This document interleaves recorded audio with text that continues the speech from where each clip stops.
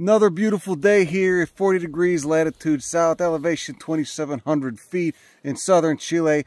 And a somewhat high elevation, very moist, very cool and wet forest community. It's forest over there and it's open over there. It looks more like a heathland over that way. Of uh, Alerce, we got some Pilgerodendron too, both members of the redwood family. And most impressively right now, this plant, Gunnera tinctoria. Known colloquially as Chilean rhubarb, it's got no relation to rhubarb at all. Just, just you learn the genus name, and what's it going to hurt you? It's a kind of a long, lonely branch in the angiosperm family tree, the Gunnerales. Only two families in that order. Gunneraceae is one of them, and here is Gunnera tinctoria. You can see on a petiole of those giant leaves, it's got those little green prickles. Cyanobacteria that fix nitrogen are housed in the stems.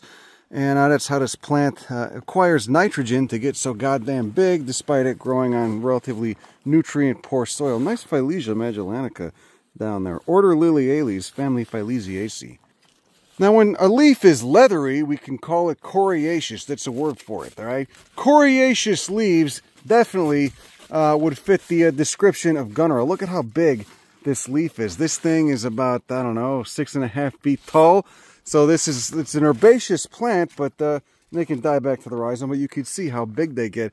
Look at the texture of those two. Ah, incredible. This genus is all over the world. There's tiny ones about that big that grow on the slopes of uh, volcanoes in New Zealand. There's a couple other ones in South America. Gunnera magellanica is another small one that grows in southern Chile. But Gunnera tinctoria is a beast, and you can see it and standing beneath her. I mean, it's been pissing for the last, not pissing, it's been more of like a drizzle. It's been tinkling for the last hour, and it's completely dry right here because all the moisture just goes right into that leaf and gets channeled off. Got a beautiful red margin to those leaves. And look at all the prickles and the mid veins too. Now here is an inflorescence and it's got a few thousand tiny flowers on it. Those little red things are the ovaries, those are the fruits. And uh, looks like it's got two bifid stigmas. It's got two little stigma branches coming right off of it. Two stigma branches, that's where pollen will get deposited.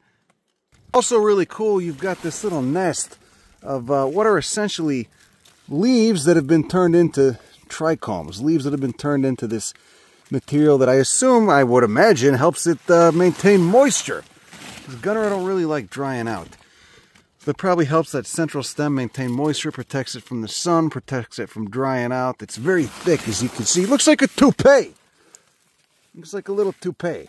Those are essentially just the low chlorophyll leaves. Leaves that don't have a lot of chlorophyll in it. And then there's those little green prickles, which uh, house that the nostoc cyanobacteria that fixes nitrogen for the thing.